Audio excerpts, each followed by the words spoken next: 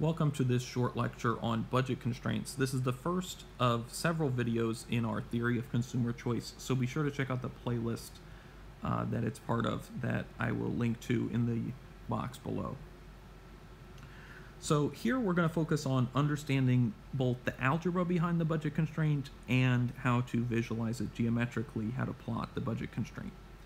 And our givens are going to be some certain amount of income, which we denote by I, and then we have to be given some prices for the two goods. We're always just going to focus on a consumer who can only afford uh, or only purchase two different goods, because then we can plot it on this two-dimensional graph.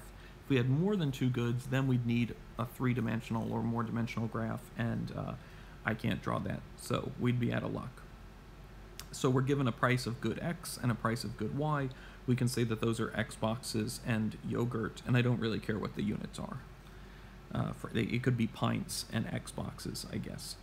All right. So what we want to think about is if I if I purchased some number of X's, say X X's and Y Y's, so X Xboxes and Y pints of yogurt, uh, how much money would I have spent? And on a little bit of reflection, uh, intuitively, you can kind of grasp that it's going to be the price of X,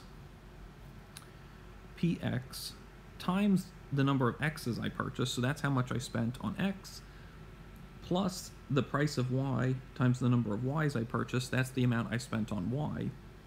And my constraint is that this total amount I spend has to be less than or equal to my income. And since for this course we're going to assume that basically the world ends after you make these purchases or after you make them and, and get to use them a little bit, uh, so that you never get to spend whatever money is left over, you might as well just spend all the money. You know, right? You're dead tomorrow, so you might as well spend everything. That simplifies because then we don't have to think about, well, maybe I want to save some money or not. Uh, now we know we're going to spend all of the income. So this equation is essentially our budget constraint. Spending on X plus spending on Y should equal our income. Theoretically, it could be less than your income, but you want to spend all the income, so we get an equality.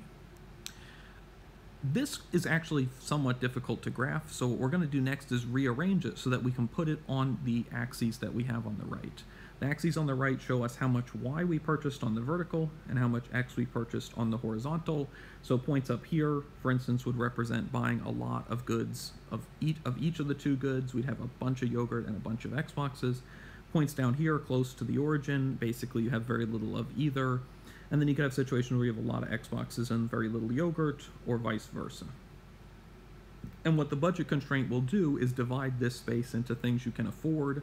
So stuff in the bottom left will be affordable versus stuff up far to the right past the budget constraint that will be unaffordable. So unaffordable versus affordable. But in order to graph it, we need it to be in our standard uh, you know, format we expect for a line when we graph it, y equals mx plus b. Uh, so we'll get it into the form of, of slope intercept, y equals uh, slope times x plus intercept.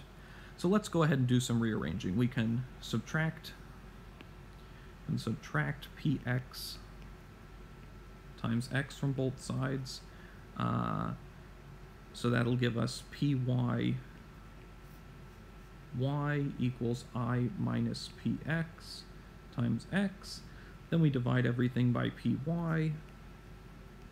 The p's y's cancel on the on the left, and we get y equals i over py minus px over py times x. So if I plot this, I can see my intercept is going to be i over py, and it's going to have a slope of negative px over py. We'll come back to that point in a second and then it will have some x-intercept. If you do the algebra, which you can pause the video and verify this, you'll get that the x-intercept is going to be i over px.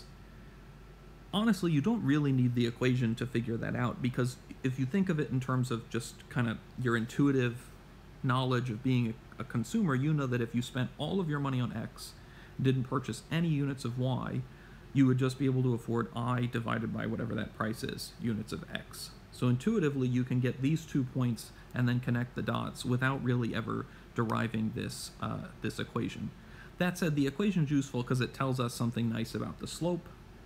Specifically, we, we found that the slope, ignoring the negative, because it's clearly negative. The slope, so I guess I'll just say absolute value of slope, is the ratio of the prices, which, you know, naturally enough we call the price ratio. And this price ratio is going to be important. The slope of this budget constraint is going to be important. So you're going to hear a lot about price ratio in coming videos. I just want to, as one last point, uh, fo focus on the fact that it is px over py. A lot of you will be tempted to say, I'm, used, I'm so used to delta y over delta x that I might as well do py over px. That's backwards. Um, so if you ever get confused on this and you forget, just calculate the slope directly. Either derive this line, like we did with the equation, that should be very quick after you do it a few times, or find these two points, calculate the slope, and you'll see that it's, it's always going to be px over py.